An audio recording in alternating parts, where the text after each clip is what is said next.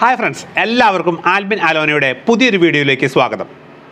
അപ്പോൾ ഇന്നത്തെ വീഡിയോയിൽ ഞാൻ നിങ്ങൾക്ക് പറഞ്ഞു തരുന്നത് കുങ്കുമപ്പൂ കൃഷി അതിന്റെ വിളവെടുപ്പ് പരിപാലനം അതുപോലെ തന്നെ ഒരു കിലോ കുങ്കുമപ്പൂവിന് ഇത്ര വില വരാനുള്ള കാരണം എന്നിവയെക്കുറിച്ച് വിശദമായി ഈ വീഡിയോ പറഞ്ഞു തരുന്നു. അതുകൊണ്ട് തന്നെ വീഡിയോ സ്കിപ്പ് ചെയ്യാതെ പൂർണമായും കാണുക.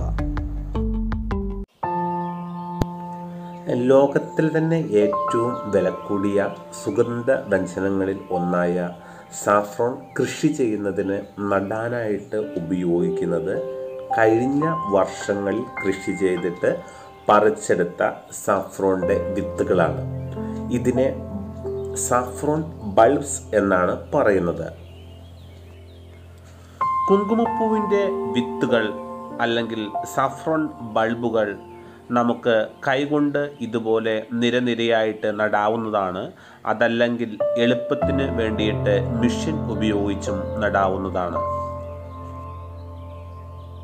കുങ്കുമപ്പൂ കൃഷിക്ക് വളരെ അത്യാവശ്യമുള്ള ഒന്നാണ് ജലപ്രയോഗം.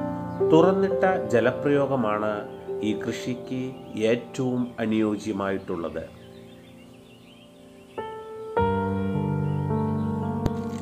സാധാരണ ഒരു കൃഷിരീതി പോലെയല്ല കുങ്കുമപ്പൂ കൃഷി ചെയ്യുന്നത്. അതുകൊണ്ട് തന്നെ നല്ല ശ്രദ്ധയോടെയുള്ള പരിചരണം ഉണ്ടെങ്കിൽ മാത്രമേ കുങ്കുമപ്പൂ കൃഷി വിജയിക്കുകയുള്ളൂ. തണുപ്പ് കൂടുതലുള്ള സ്ഥലങ്ങളിലാണ് കൃഷി ചെയ്യുന്നതെങ്കിൽ മണ്ണ് ഏകദേശം ഇരുപത്തി അഞ്ച് മുതൽ മുപ്പത് സെന്റിമീറ്റർ വരെ ഉഴുത് മറച്ചിട്ടാണ് വിത്ത് നടുന്നത്. മുപ്പത് മുതൽ നാൽപ്പത് ഡിഗ്രി സെൽഷ്യസ് വരെയുള്ള താപനിലയിലാണ് കുങ്കുമപ്പൂ വളരെ നന്നായിട്ട് വളരുന്നത്.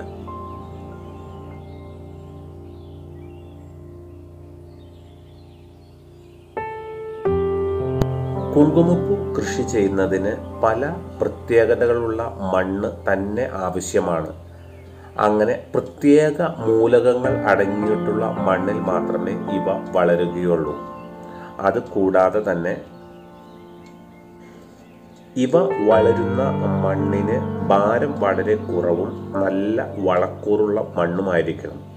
ഇവ നേരിട്ട് വെള്ളം നനച്ചു കൊടുക്കാവുന്ന സൗകര്യവും അതുപോലെ തന്നെ ഒട്ടും മണൽക്കൂട്ട് ഇല്ലാത്തതുമായ പ്രദേശങ്ങളിൽ മാത്രമേ പൂ നന്നായിട്ട് വളരുകയുള്ളൂ. ഓരോ വർഷവും ഒരു ചെടി മൂന്ന് പുതിയ വിത്തുകളെ ഉൽപ്പാദിപ്പിക്കുകയും പിന്നീട് അവ സ്വയം നശിച്ചു പോകുകയും ആണ് ചെയ്യുന്നത്.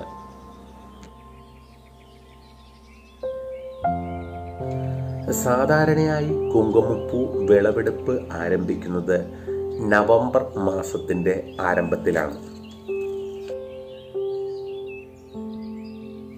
കുങ്കുമപ്പൂവിന്റെ വിളവെടുപ്പിന്റെ ഓരോ ഘട്ടത്തിലും പ്രത്യേകം ശ്രദ്ധ വേണം. കാരണം വിത്തിനും ചെടിക്കും ഒരു കേടുപാട് പോലും സംഭവിക്കാതെ വേണം പൂക്കൾ പറിച്ചെടുക്കാൻ.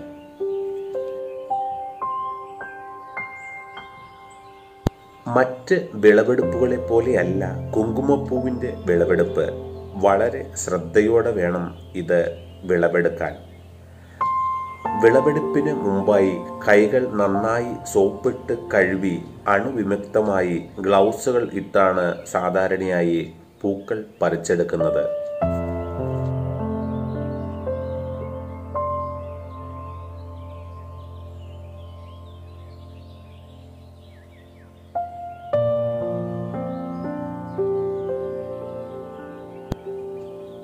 ചെടികൾക്ക് ഫംഗസ് രോഗബാധ പകരാതിരിക്കുവാനാണ് ഇങ്ങനെ ചെയ്യുന്നത്.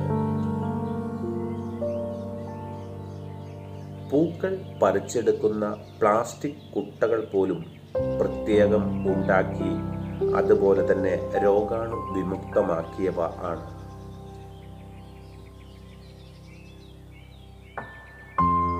പറിച്ചെടുത്ത കുങ്കുമപ്പൂ സൂക്ഷിച്ച് വെക്കുന്ന സ്ഥലം പോലും ഒട്ടും വായു മലിനീകരണം ഇല്ലാത്തതും പ്രാണികളുടെ ശല്യം കടക്കാത്തതും അധികം ചൂട് ഇല്ലാത്തതുമായ സ്ഥലത്ത് ആയിരിക്കണം.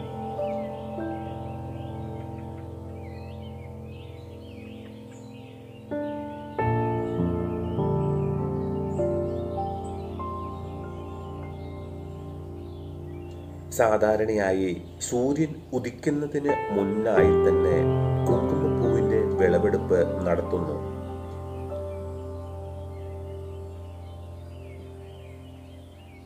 കൃത്യസമയത്ത് കുങ്കുമപ്പൂ വിളവെടുത്തില്ലെങ്കിൽ അവ സ്വയം നശിച്ചു പോകുന്നു.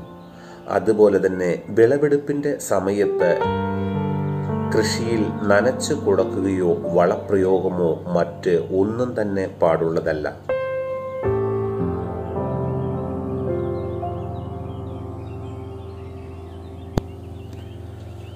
കുങ്കുമപ്പൂ സാധാരണയായിട്ട് പൂ കൂടുതലായിട്ട് ഉണ്ടാകുന്നു ഉണ്ട് എങ്കിലും ഈ പറിച്ചെടുക്കുന്ന മുഴുവൻ പൂക്കളും നമുക്ക് ഉപയോഗത്തിനായിട്ട് ലഭിക്കുന്നതല്ല.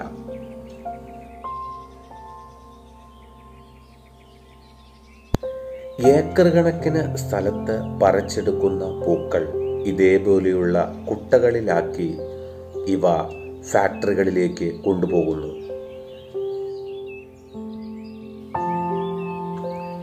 ഫാക്ടറികളിൽ ഇവ ആളുകളുടെ സഹായത്തോടെ ഈ പൂക്കളുടെ ഉള്ളിൽ നിന്നും കുങ്കുമപ്പൂ വേർതിരിച്ചെടുക്കുന്നു. ഈ പൂവിന്റെ ഉള്ളിൽ അതായത് നടുഭാഗത്ത് നിൽക്കുന്ന ഫിലമെന്റ് സഫ്രോൺ ഫിലമെന്റ് ഇതാണ് കുങ്കുമ പൊടിയായിട്ട് നമുക്ക് ലഭിക്കുന്നത്. ഈ നീല നിറത്തിലുള്ള ആ പൂക്കൾ ഉപയോഗിക്കുന്നില്ല. ഒട്ടും കട്ടിയില്ലാത്തതും നാരുപോലെ ഇരിക്കുന്നതുമായ ഫ്ലവറിന്റെ ഉള്ളിലുള്ള ഈ ഫിലമെന്റാണ് യഥാർത്ഥ കുങ്കുമപ്പൂ. അതുകൊണ്ട് തന്നെ ഒരു കിലോ കുങ്കുമപ്പൂ ലഭിക്കണമെങ്കിൽ ഏകദേശം പതിനേഴ് ലക്ഷം കുങ്കുമപ്പൂക്കളിൽ നിന്നാണ് ഒരു കിലോ കുങ്കുമം ലഭിക്കുന്നത്. അതുകൊണ്ട് തന്നെയാണ് ഒരു കിലോ കുങ്കുമത്തിന്റെ വില അഞ്ച് ലക്ഷത്തിന് മുകളിൽ പോകുവാനുള്ള കാരണവും. ഈ ഒരു കാര്യം കൊണ്ട് തന്നെയാണ് കൂടുതലായും കുങ്കുമപ്പൂവിന് ഇത്ര വില ഉയരാനുള്ള ഒരു കാരണം. മറ്റൊരു കാരണം ഇത് എല്ലാ സ്ഥലങ്ങളിലും കൃഷി ചെയ്യാൻ പറ്റുന്ന ഒരു വിളയുമല്ല. പൂവിന്റെ ഉള്ളിൽ നിന്നും വേർതിരിച്ചെടുക്കുന്ന കുങ്കുമപ്പൂ ഫിലമെന്റുകൾ കൃത്യമായ ചൂടിൽ ഇവ ജലാംശം നീക്കം ചെയ്ത് ഉണക്കിയെടുക്കുന്നു. ഒട്ടും കട്ടിയില്ലാത്തതും വളരെ നേർത്തതുമായ ഫിലമെന്റ് ആയതുകൊണ്ട് തന്നെ വളരെ ശ്രദ്ധയോടെ കറക്റ്റ് ചൂടിൽ ഇത് എടുത്തില്ല എങ്കിൽ പൊടിഞ്ഞു പോകുകയും അതല്ലെങ്കിൽ ഉപയോഗശൂന്യമായി തീരുകയും ചെയ്യും. കൃത്യമായ ഊഷ്മാവിൽ മെഷീനുകളുടെ സഹായത്തോടെ ആണ് കുങ്കുമപ്പൂ ഉണക്കി എടുക്കുന്നത് എങ്കിലും ഇടയ്ക്കിടെ വന്ന് ഓരോ കുങ്കുമപ്പൂവും അത് കൂടുതൽ ഉണങ്ങി പൊടിഞ്ഞു പോകുന്നുണ്ടോ എന്ന് സൂക്ഷ്മതയോടെ ശ്രദ്ധിക്കുന്നു. പിന്നീട് ഇവ വിവിധ ഗ്രേഡുകളായി തിരിച്ച് പാക്ക് ചെയ്ത് നമ്മുടെ കൈകളിലേക്ക് എത്തുന്നു. നിങ്ങൾ ആദ്യമായിട്ടാണ് ഈ ചാനൽ കാണുന്നതെങ്കിൽ ചാനൽ സബ്സ്ക്രൈബ് ചെയ്യാനും വീഡിയോ ഇഷ്ടമായാൽ ലൈക്ക് ചെയ്യാനും മറക്കരുത്.